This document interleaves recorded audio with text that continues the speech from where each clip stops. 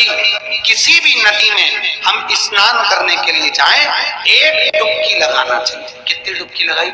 एक डुबकी लगाने के बाद उसी नदी की मट्टी को, पत्थर को उठाकर, घाट पर रखकर, स्वस्तिक बनाकर उसकी पूजन अगर हल्दी से कर कर घी का दिया जला दिया जाता है तो घर में कभी लक्ष्मी की कमी नहीं होती। लक्ष्मी हमारे यहाँ टूट मान रहती है। किसी भी नदी में ना किसी भी नदी में स्नान करें।